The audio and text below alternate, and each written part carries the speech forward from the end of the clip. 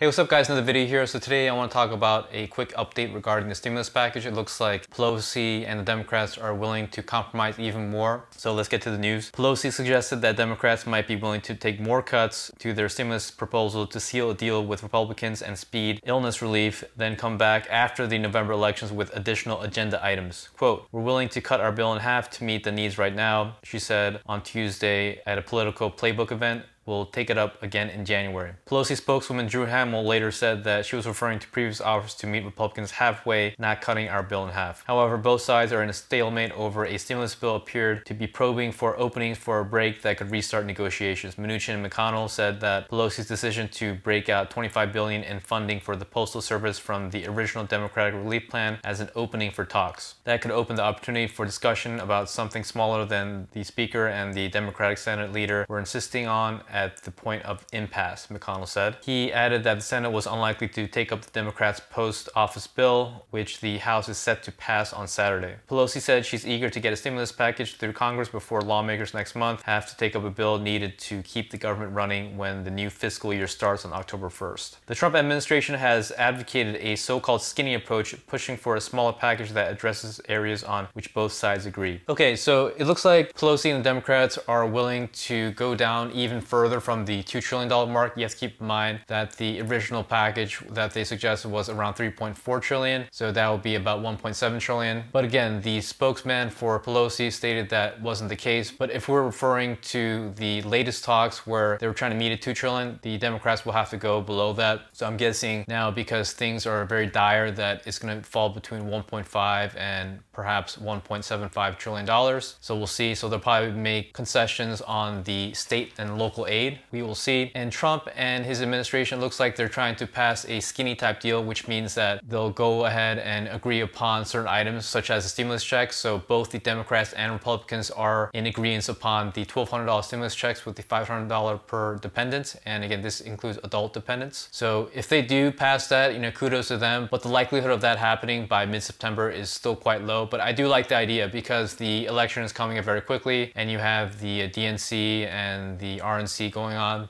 you know, people are busy and if they do pass the skinny bill, I think that's a smarter approach. So you pass the skinny bill first, which will primarily include the stimulus checks, which is going to be very costly. And then after the elections, whoever becomes president, let's say, you know, Sleepy Joe becomes president, then they may be able to pass it a little easier. However, the Republicans still will have control of the Senate. So I don't know how effective that'll be even if Sleepy Joe is president. So we'll have to see, but I do like this idea where a skinny bill is passed again with the stimulus checks and then later on they may agree upon the state local aid, and so on and so forth, the other items regarding the current uh, stimulus package with the HEALS Act and the HEROES Act. So we'll see, and uh, hopefully, you know, something gets resolved. But again, the skinny bill is still just simply a proposal. So we don't know what's going to happen, but I don't imagine anything will happen because we're already going toward the second half of August and nothing really has materialized. So anyways, hopefully that was a little helpful. Please like and subscribe. And if you are interested in my book, please check the link down below. It describes how I became a multimillionaire at age 35 by only having salary income 40K to 81.5K from the ages of 22 to 35. It goes over income, expenses, and more importantly, investing. So that's it guys, and stay tuned for the next video.